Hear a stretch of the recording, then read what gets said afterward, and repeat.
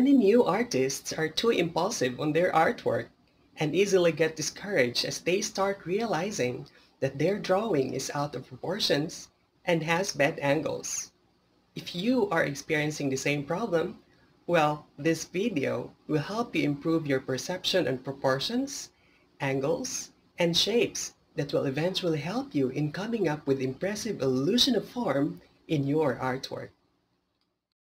So today it's going to be a very interesting topic because we will be dealing with shape. And as we all know, shape has two categories. These are geometric and organic shapes. So it's understood that geometric shapes deal with the mathematical shapes or these shapes that are used in mathematics which are basically man-made just like the square, the rectangle, circle, and triangle. So these shapes actually are, are man-made as what I've said. In other hand, there's also organic shape. So these organic shapes are actually natural and free-form shapes. So the patterns that are used are actually inspired from nature, just like the shape of the flower, for instance, or the shape of the leaves, or the shape of rock so all of these talk about shapes. Now, how are these shapes used or applied in basic drawing? So the answer is very simple. It is to resolve problems on proportions, especially for those uh, learners who are beginning artists. So this is basically solving our problems with regards to, you know, uh, irregular proportions. So that's kind of uh, really uh, disappointing for beginning artists to see results right after first, second, or third try. And actually, that's that's gross to have irregularly shaped uh, drawing or irregularly uh, or deformed drawing even if your intention is to have a representational drawing of any realistic figures. Now, how are we going to do this? Very simple. First is to deal with geometric shape and secondly to deal with organic shape. So these are the two simple steps on how to deal with shapes in terms of representational drawings. So once again, we're going to start with geometric shapes followed by organic shapes. Now, to give you clearer understanding or idea of how these uh, how these two shapes work toward a successful drawing, uh, let me uh, show you some simple examples in this. So basically, as what I've said, we have to start with uh, geometric shapes. So the one that I am drawing here now are geometric shapes. So that's basically step one. So to proceed to step two is to connect. We try to connect these uh, geometric shapes to proceed toward uh, working on the details or working on the, the hatching or cross hatching for the value so from from this uh, way we would be able to to have a, a, an overview of what the drawing will be uh, in general right after doing the, the artwork you know. So what I'm doing now is is that I tried to connect the geometric shapes toward developing an organic shape or something that has more details, something that cares more about about the details of the drawing. So although uh, this is not really very specific to uh, organic shape, but still uh, this is a very uh, successful uh, way of you know understanding how it works when it comes to working with step 1 which is on the geometric and step 2 which is you proceed to the organic. Okay so there are only two. So to give you another example is on on drawing a, a bird for example so we have to as I've said we have to start with number one or step one which is dealing with a the geometric shapes for example I have here an oval and a circle and uh, some triangles here so this would give us an idea that this is going to be the shapes or the, the, the overall shape or form of the bird that I intend to draw. So I started with organizing the geometric shapes.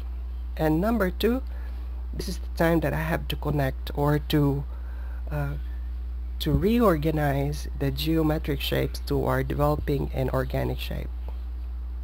So here I'll be connecting the head toward the body which actually I, I I prepared to be you know an oval at first and eventually collect connect the, the oval toward the the triangles here and toward the tail which is uh, of course I started with with a triangle that's a an organic shape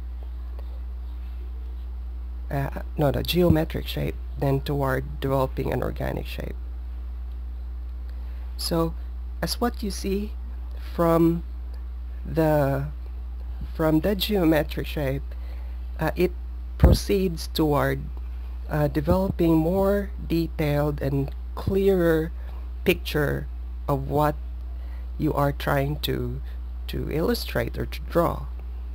So it is just a matter of organizing just like you know first isolating the the geometric shapes and eventually connect them and uh, create a more elaborate and more representational drawing about the subject.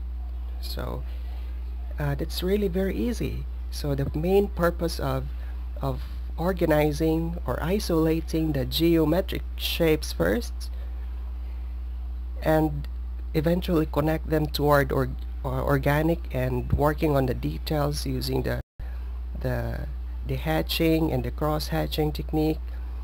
You can even uh, you can even add some stippling or pointillism techniques in combination uh, with the, the hatching and the cross hatching so it's up to you so the overall idea of working with shapes uh, through geometric and organic shapes is to resolve problems in terms of proportion, especially for beginning artists.